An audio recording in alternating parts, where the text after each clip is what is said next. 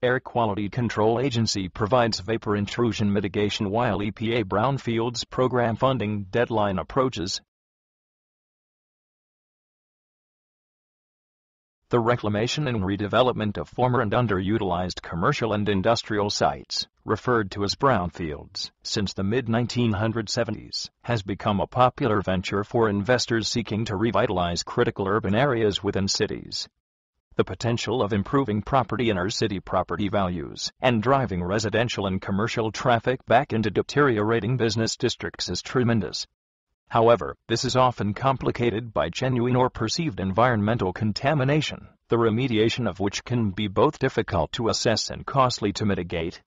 The Environmental Protection Agency recognizes the negative image that brownfield redevelopment has to face and has provided extensive grants to non profit, and governmental agencies for both assessment and cleanup.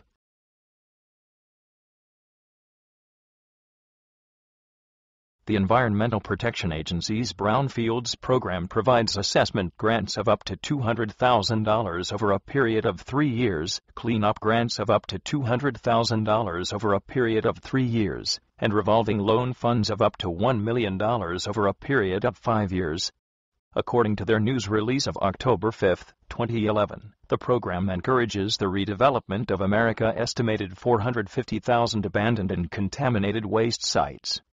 The investment is significant. The EPA has leveraged more than $6.5 billion in brownfields cleanup and redevelopment funding from the private and public sectors and has created approximately 25,000 new jobs with potential increases in residential property values and revitalization of urban settings, brownfield redevelopment makes sense from both a planning and an investment perspective.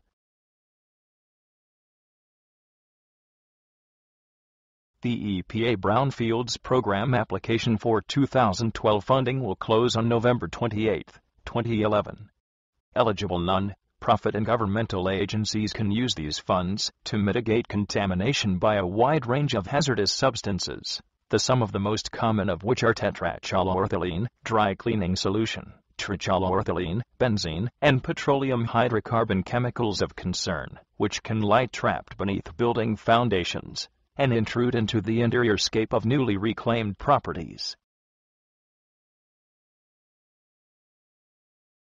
In determining the best utilization of available grant monies, non-profit and governmental agencies may face budgetary constraints, particularly when it comes to mitigating volatile organic chemicals.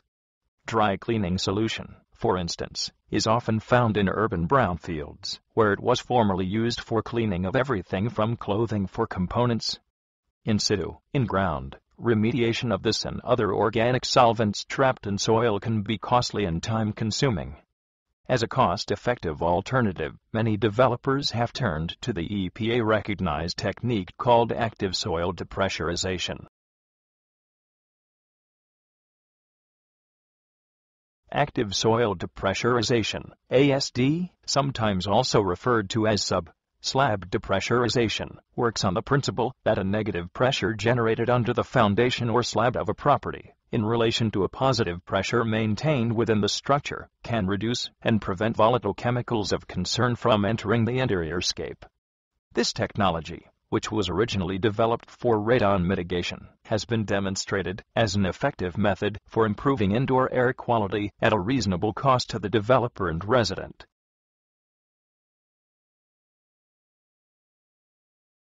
Air Quality Control Agency is a leader in radon and vapor intrusion mitigation systems. Utilizing active soil depressurization and other proprietary technologies, systems are installed which are effective, affordable, and have a low cost of operation.